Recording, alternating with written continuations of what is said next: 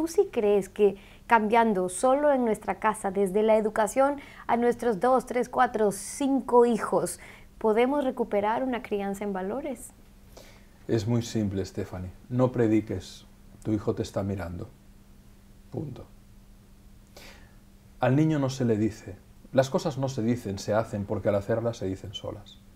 El niño no aprende por lo que le dices.